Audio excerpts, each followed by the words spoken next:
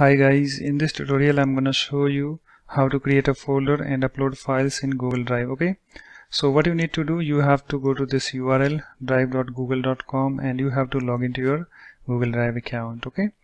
And guys this link in the video description you can check it out. So let me open my web browser. You can see that I'm logged into my Google Drive account okay?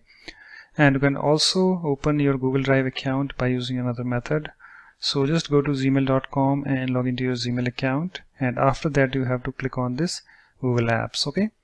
And after that you have to find your google drive. So here is my google drive. Just click on this and you can see it's taking me to my google drive account. And you can see i'm logged in. So let me close this one. Okay guys. So how to create a folder and upload files in that i'm going to show you in this tutorial okay? So you can see that i'm in my drive okay so in order to create a folder over here what you need to do you have to click on this new.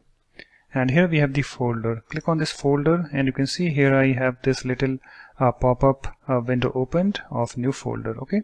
And you can also open this window by using another method. So let me show you. So let me click on this cancel button. So just go to my drive click on that and then click on this new folder okay? So let me click on this new folder and you can see guys here I have this new folder window opened okay? So just provide the folder name of your choice. So let me provide mine okay? I want to give name of the folder as test folder. And after providing your folder name uh, just click on this create button. So let me click on this create button and you can see it's working. And here I have this folder created okay? You can see under folders. Here I have this test folder okay that I just created. So in order to open this folder what you need to do you have to double click on this. So let me double click on that. And you can see we are in this test folder okay. So let me expand this. You can see over here test folder. So in order to uh, upload files in this you can see here we have the message drop files here or use the new button okay and also you can right click in this folder and here we have the upload files option. Okay? And also you can click on this new and here we have the file upload option. Okay? So if I click on this file upload here I have this window opened and after that you have to go to the place where you have your files. Okay? So I have my file in my desktop. Okay? So I need to click on this to select it.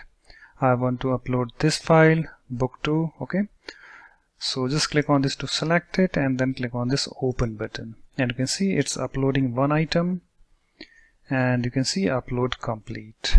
Okay guys? And suppose guys if I want to create one new folder in this test folder so let me show you how we can do that okay? So just click on this you know test folder whatever your folder name and here we have the new folder.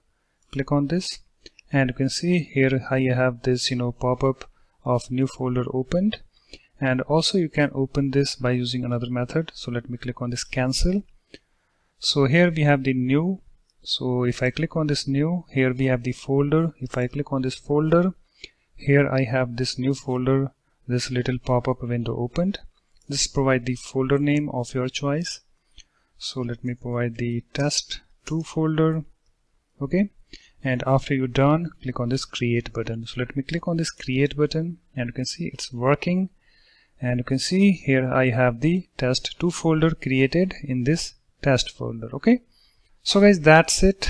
In this way you can easily uh, create a folder and upload files in that in Google Drive. So thanks for watching. If you like my videos please support this channel by subscribing to it.